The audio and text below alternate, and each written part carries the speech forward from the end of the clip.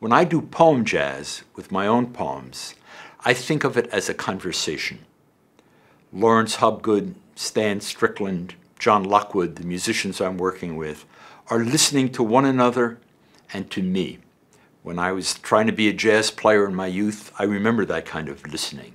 You're thinking about what you're going to do, and you're thinking about what the others are doing.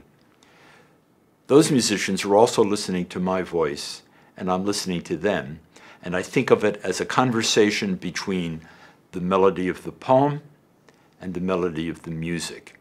It is, in fact, pretty much exactly like rap, except it's a different musical idiom and it's a different idiom of language. Ben Jonson's poem, Let It Not Your Wonder Move, Less Your Laughter That I Love, that melody, that tune, I'm performing it listening to what the musicians have to quote, say, end quote, about it. And they're listening to my phrasing of Ben Jonson's melody that he wrote a couple of hundred years ago, more.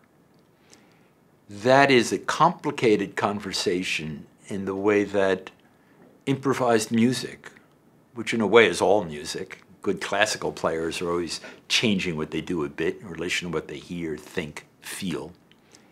That conversation is an essential part of art. And in some ways, hearing the conversation between the music of the poem and the music of the musicians, I hope, clarifies both.